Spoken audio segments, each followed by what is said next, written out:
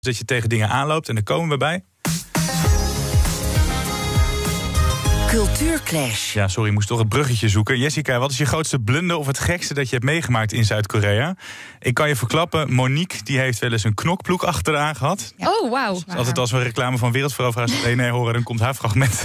Dat is dus een Vietnamese incassobureau. Dat is een knokploeg. eh. Oh, wauw. Ja. Oh, dat is zo spannend is mijn Oh. verhaal niet. wat, wat heb jij daar meegemaakt? Ehm, nou, bijvoorbeeld, eh Monique vertelde het net al, inderdaad, de, de directheid die we daar hebben, is, is, of die we hier hebben, is daar gewoon ehm, ja, niet zo. Dus eh, wat wij als eh, nou ja, Nederlanders dachten van, oh, nou, we hebben een leuke lead. Hè? Er is iemand die heeft interesse getoond joh, ik wil jullie product.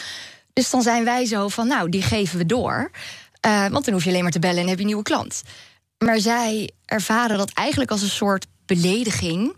ehm, van, denk je dat ik het zelf niet kan?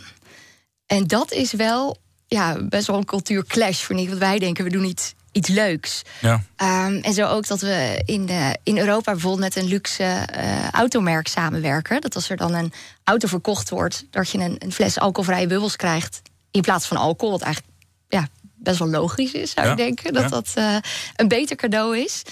Ehm, maar dan geven we eigenlijk die, die eh, link van, joh, misschien is dat een idee. En daar zijn ze helemaal niet van gediend. En het kan wel zo zijn, tenminste wat we ook gemerkt hebben, dat iemand die we dan hebben doorgegeven als, joh, misschien is dit een leuk, eh, interessant persoon. Ja. Een jaar later hebben ze die dan wel in dienst genomen. Dus ze doen er uiteindelijk wel iets mee, maar op hun moment. ja, dus je ideeën komen